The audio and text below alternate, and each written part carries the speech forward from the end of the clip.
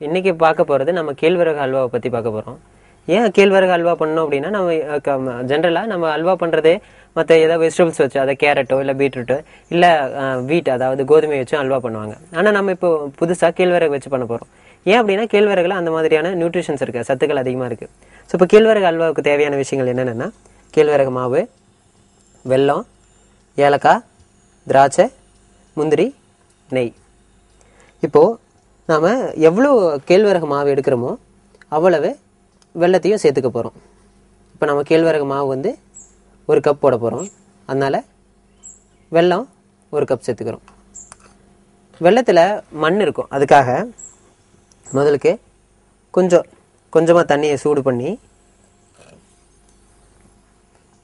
அதில் வெள்ளத்தை சேர்த்து நல்லா பாகு மாதிரி காய்ச்சணும். எதுக்காக அப்படின்னா அந்த வெள்ளத்தில் இருக்கிற ச மண் அதெல்லாம் கீழே தங்கும். அப்போது அந்த ம அந்த பாகை வச்சு தான் நம்ம அல்வா பண்ண போகிறோம் தண்ணி ஊற்றிருக்கேன் தண்ணி நல்லா கொதிக்குது.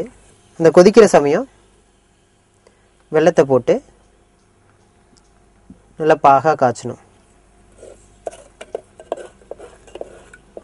அது வந்து சாப்பிட்றப்ப அந்த மண்ணு படாமல் இருக்கும். அப்போது அது ஒரு அது ஒரு நல்ல டேஸ்ட்டும் கொடுக்கும். பொதுவாக வெள்ளை சக்கரை தான் பயன்படுத்துவாங்க. இப்போ நம்ம வெள்ளச்சக்கரை பயன்படுத்தல வெள்ளம் பயன்படுத்துகிறோம் காரணம் என்னென்னா வெள்ளச்சக்கரையை ப்ராசஸ் பண்ணுறதுக்கு அதாவது அந்த வெள்ளை கலர் கிடைக்கிறதுக்காக அது நிறைய கெமிக்கல்ஸ் ஆட் பண்ணுறாங்க அது வந்து உடம்புக்கு நல்லது நல்லதில்லை. சரி இப்போ வெள்ளைப்பாகு தயாராகிடுச்சு இந்த வெள்ளைப்பாகை ஒரு பாத்திரத்தில் எடுத்துகிட்டு கொஞ்சம் நேரம் கழித்து அப்படியே வடிச்சோம்னா அந்த மண் வந்து அடியில் தங்கிடும் கீழே இருக்கிற முழு நிதியும் ஊற்றாமல் அடியில் மண் இருக்கும். அதை வச்சிடலாம். இப்போது ஒரு கப் மாவு எடுத்துட்டு கொஞ்சம் கொஞ்சமாக மாவு சேர்த்து கட்டி இல்லாமல் கரைச்சிக்கணும். இந்த வெள்ளை பாகும் இந்த மாவும் சேர்றப்போ நல்ல ஒரு ஒரு மாதிரியான நல்ல ஸ்மெல் வரும். சுத்தமாக கட்டி இல்லாமல் நல்லா கரைச்சிட்டு இப்போ சு இதில் சுத்தமாக கட்டி இல்லை. இப்படி கரைச்சி வச்சுக்கணும்.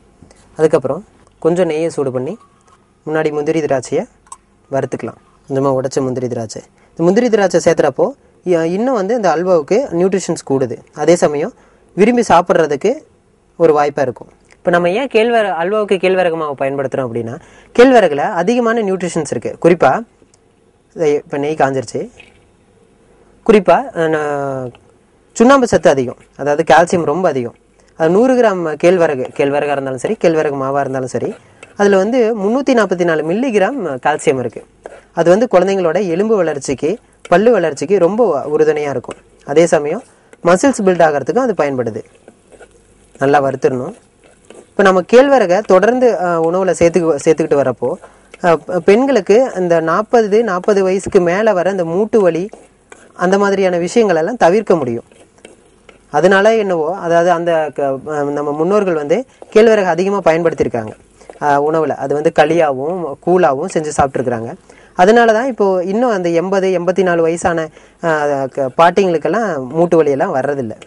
இது நல்லா பொன்னிறமாக வறுக்கணும். திராட்சையும் சேர்த்துக்குவோம்.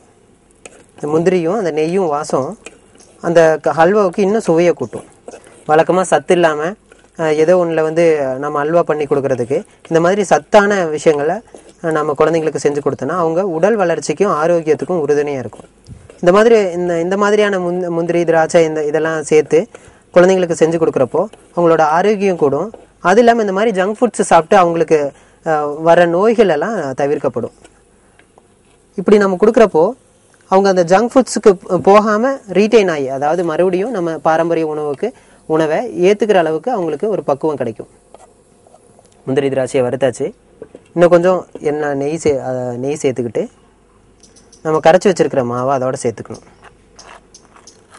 அப்போ மிதமான தீயில் எரியணும். நம்ம எவ்வளோ நெய் சேர்த்தாலும் அந்த நெய் வந்து அந்த மாவு அப்படியே உள்வாங்கிடும் உள்வாங்கி நல்லா வெந்து வரும். நல்லா வெந்து வரப்போ அது வந்து அந்த நெய் நம்ம எவ்வளோ நெய் சேர்த்தோமோ அந்த நெய் அப்படியே வெளிவிடும் அப்போ அந்த சட்டியில் ஒட்டாமல் சுருண்டு வரும். அதுதான் அல்வாவோட நல்ல பதம். இப்போ நம்ம சேர்த்துன நெய் எல்லாமே உறிஞ்சிருச்சு. கைவிடாமல் நிற நல்லா கிளறணும். அடிப்பிடிக்க விட்டுறக்கூடாது. இது மட்டும் இல்லை அல்வா மட்டும் இல்லாமல் பாயசம் பண்ணலாம் ராகிலேருந்து அதாவது கேழ்வரகுலேருந்து பாயசம் பண்ணலாம் லட்டு பண்ணலாம் புட்டு இனிப்பு புட்டு பண்ணலாம் கார புட்டு பண்ணலாம்.